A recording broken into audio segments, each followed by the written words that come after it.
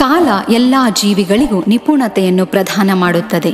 ಅದೇ ಎಲ್ಲ ಜೀವಿಗಳ ಸಂಹಾರ ಕೂಡ ಮಾಡುತ್ತದೆ. ಎಲ್ಲರೂ ಮಲಗಿದ್ದಾಗ ಅದು ಎಚ್ಚರವಿರುತ್ತದೆ.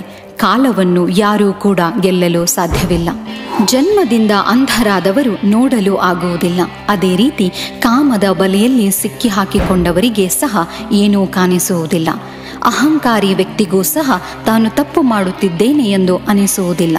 ಹಣದ ಹಿಂದೆ ಬಿದ್ದವರಿಗೂ ಸಹ ಅವರ ಕರ್ಮಗಳಲ್ಲಿ ಯಾವುದೇ ಪಾಪ ಕಾಣಿಸುವುದಿಲ್ಲ. ನಮ್ಮ ಕರ್ಮಗಳ ಮಾರ್ಗದಿಂದಲೇ ಜೀವಾತ್ಮ ಬರುತ್ತದೆ. ತನ್ನ ಕರ್ಮಗಳಿಂದ ಬರುವ ಒಳ್ಳೆಯ ಅಥವಾ ಕೆಟ್ಟ ಪರಿಣಾಮಗಳನ್ನು ಆತನೇ ಅನುಭವಿಸುತ್ತಾನೆ. ತನ್ನದೇ ಕರ್ಮಗಳಿಂದ ಆತ ಸಂಸಾರದಲ್ಲಿ ಸಿಕ್ಕಿ ಹಾಕಿಕೊಳ್ಳುತ್ತಾನೆ ಮತ್ತು ತನ್ನದೇ ಕರ್ಮಗಳಿಂದ ಸಂಸಾರದ ಬಂಧನದಿಂದ ಮುಕ್ತವಾಗುತ್ತಾನೆ.